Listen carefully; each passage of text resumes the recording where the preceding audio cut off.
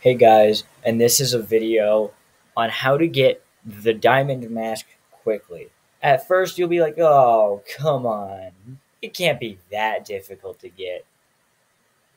Oh my god. First, let's go over the blue extracts. Now the first way is mob kills. And the places where you can find blue mobs are Cloverfield, Blue Flower Field, Bamboo Field, and Pine Tree.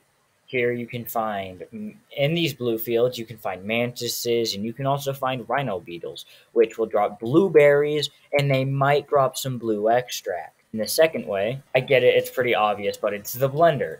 50 blueberries and 10 royal jellies can make a blue extract and the ways to get the blue extract pretty quickly are some memory match.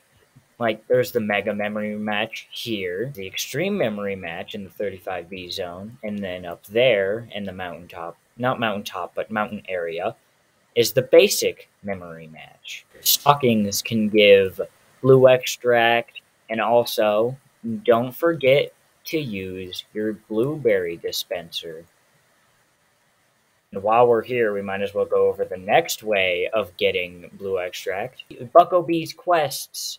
They will always give, I think, at least one blue extract. Don't forget to place your blue clay planter. Beesmas Feast is also a good way of getting blueberries. I just got 36. And another way is if you're on PC, you can just auto click in a blue field and you'll wake up with about, I don't know, 500 blueberries or if you really want them quickly, you can just get a macro. Uh, I, I don't like using macros, but if you want to, you can. Now let's move on to those glitters. Again, the memory matches come in quite handy here. You can click through, and if you find sprouts, take those.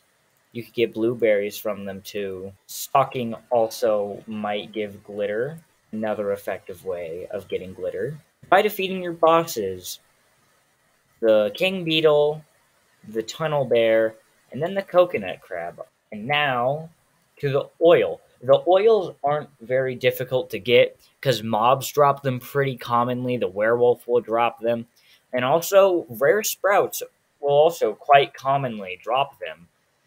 You just throw a sprout party or two and you'll get a bunch of them. You can also craft them with sunflower seeds and then 10 royal jelly. Again, with to get a bunch of sunflower seeds, all you need to do is do the memory matches. The memory matches are good. You can AFK in a white field or throw a sprout party there. Okay, now let's move on to the cancer part of this the diamond eggs. Now, if you've used all of your diamond eggs that you've ever gotten and you only have one or two and you're trying to get it, uh, that's not good.